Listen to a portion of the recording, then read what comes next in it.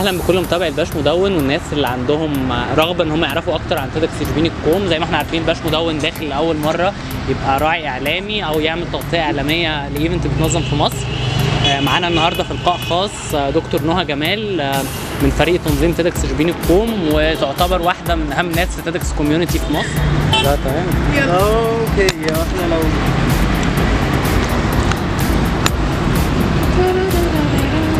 بصور ومش عارف. هي منظمة أمريكية تهدف الأفكار اللي بتستحق النشر. ببساطة إن الناس جت فكرة بتاعتهم إزاي؟ إن هم هيلاقوا إن في ناس كتيرة جدا عندها أفكار كويسة وهايلة بس المشكلة إن الناس مش عارفة مين مؤتمر بسيط.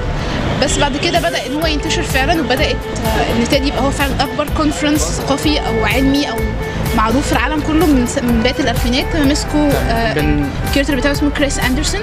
بعد كده بعدها بفتره بدأ يعمل اللي هي ال license اللي هي إكس إكس ديت اللي هي independently organized event اللي هو إن هم عايزين يعملوا حاجة زي TED like experience بس في أماكن تانية بعيدة لأن صعب إن كل إن واحد يروح يحضر المؤتمر دوت live في كاليفورنيا. فاللي هو كان ليه ما ننشرش الفكرة لمجتمعات تانية لأماكن تانية كتير. التمويل الاجنبي في تمويل من المنظمة دي بتديكوا أي فلوس ولا هو فعلا تنظيم ذاتي أنتوا اللي بتحاولوا توفروا لا هي المنظمة غير هادفة للربح على الإطلاق. اللي هو يعني مفيش أي تمويل منهم. إحنا اللي بندور على التمويل.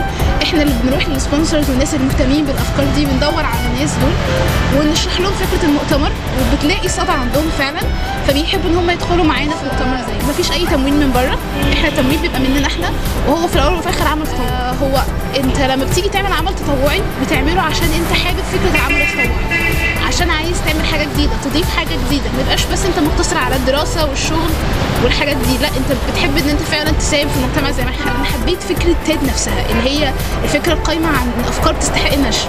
يعني أنا ممكن أكون قاعدة في بيتي بس ممكن أتفرج على عالم من مكان تاني بعيد خالص عني بس فكرته ممكن تلاقي صدى عني معايا إن إحنا عندنا في مصر في شوية مشكلة عن فكره إنك تعمل مؤتمر للناس تتكلم. TED أنت بتستفيد حاجات جديدة إنك بتعرف experiences جديدة الناس بتيجي تقول عنها. بتعرف اختراعات جديدة وحاجات جديدة بتلاقي إن في ناس سواء كانوا قدك أو أكبر منك أو أصغر منك بس الناس ديت بدأت إن هي فعلا تدور في نفسها على الحاجة اللي هي بتعرف تعملها وحققتها وهو الموضوع مش رفاهية أو مش. الموضوع مش كده. الموضوع إن أنت بتستفيد فعلا من اليوم بتطلع بأفكار جديدة. والا ما كانش الموضوع انتشر بين الناس والا ما كناش إحنا موجودين دلوقتي بنعمل فكرة TEDx شبين في المؤتمر ده. اولا لما تيجي تعمل conference TEDx لازم بت- آه، بيعتمد على حاجات مهمة اللي هي الثيم أو فكرة ال event الموضوع بيتكلم عنه وفي نفس الوقت ال speakers اللي بيتبعوا الثيم دي في ال talks بتاعتهم. آه، هكلمك عن ال theme ال theme بتاعتنا اسمها different perspective أو منظور مختلف لأن إحنا حبينا نعمل ال conference في مدينة شبين اللي هي بعيدة شوية عن الأضواء على خلاف طنطا أو Alexandria أو Cairo. آه، فحبينا إن الناس تبص للمدينة بشكل مختلف وإن فعلا إن في هنا مواهب وإن في ناس فعلا تستاهل إن هي تتعرض للناس والناس فعلا إنها تشوفها. يعني إن هو يبقى هدف ليكم إن أنتوا حتى الناس تبص المنوفيه ب different perspective بالظبط على عكس ما الناس بدأت آه، يعني. فكره عنها. ف ده ده كانت السين بتاعتنا different perspective قعدنا فيها فترة كبيرة جدا على ما وصلنا للسين عشان نبتدي نمشي عليها ونمشي على أساسها على ال event بتاعنا. إن هي دي تقريبا أساس ال event هي دي اللي أنت بتعلن عنها بال event بتاعك. لازم يكون ليه فكرة معينة.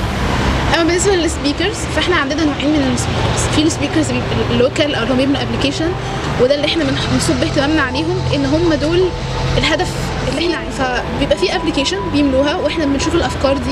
بعد كده نبتدي نفلترها ونعمل معاهم interviews و rehearsal إزاي إن هم يقدموا فكرتهم دي للناس بشكل مبسط. آه بالنسبة في speakers تانيين إحنا بندعيهم زي اللي هم اللي بتضيف كتير جدا لل event وبتضيف مصداقية كبيرة دي فاللي هو يعني يشرفنا هم موجودين معانا وكمان بيفتحوا نوع من الحوار ما بينهم وما بين ال local speakers اللي ممكن يلاقوا صدى فكرتهم ديت آه، حاجة كويسة عند ال celebrities فيساعدهم إن هم إزاي يوصل فكرته بشكل أبعد كمان من حدود المنطقة. على العلم إن كل talk بتت- بتتصور وبتترفع على الإنترنت لأن زي ما بقول TED في الأول وفي الآخر هو online community فالناس بت... مش بس الناس اللي بتحضر ال event هي اللي بتسمع ال talk لا ممكن أي حد من أي مكان يسمع ال talk دي في اي في أي مكان تاني. ممكن الفكرة دي تعجبه إن كمان ال talk بتترجم للغات تانية مختلفة عن موقع تاني أقول لك آه أنا قبل كده كنت قبل ما أبتدي أنظم TEDx حضرت قبل كده TEDx شفت TED talks كتير على الإنترنت. فده اللي خلاني أحب إن أنا أعمل TEDx هنا يعني ليه ليه بس بره؟ في هنا برضو ناس ممكن هم يطلعوا ويقولوا. فأنا كنت بتفرج على أي talk أو بحضر أي TEDx event بطلع من بعد كل session أو بعد كل talk يعني بحس إن يعني ما شاء الله أو يعني اللي هو لأ يعني ما دام الناس دي قدرت إن هي تعمل اللي هي بتحلم بيه ده وتحققه فليه لأ؟ أنا ما أعملش كده. ليه برضو ما اسعاش ورا حلمي وأعتنق الفكرة اللي أنا عايزاها وأعملها؟ أنا نفسي بقى الناس اللي يجوا يحضروا يحصل لهم فعلا ال inspiration والأمل والحاجات اللي أنا فعلا حسيت بيها وأنا بسمع ال talk وأنا أكيد إن إحنا راعينا ده جدا في TEDx شبين الكوم وإن في أفكار كتيرة جدا وفي من مختلف البلاد بس مش مش مش بس من شبين. فأنا sure متاكده إن الناس هتطلع من ال event؟ فرحانة جدا مبسوطة. وحاسة فعلا إن هي ما ضيعتش اليوم بالعكس. خلاص فاضل كام يوم و- وال event الحلم اللي كلكم بدأتوه. هيتحول خلاص لحلم آه، طبعا excited مستنية جدا فارغ صبر يوم السبت عشان آه، أبتدي أشوف ال talks واشوف ال speakers لأن إحنا تعبنا فعلا مع ال speakers عشان نبتدي نعمل لهم rehearsal ونطلع ال talk بأفضل شكل ممكن. ال- ال team بتاعنا بجد team جبار وإحنا عددنا كبير جدا عشان نطلع بالشكل اللي إحنا عايزينه. فاللي هو يعني أتمنى يا رب إن اليوم يمر بخير والناس فعلا تحس إن هي استفادت وتطلع فعلا حاسة إن هي ممكن تعمل حاجة أفضل ممكن تعمل حاجة أحسن.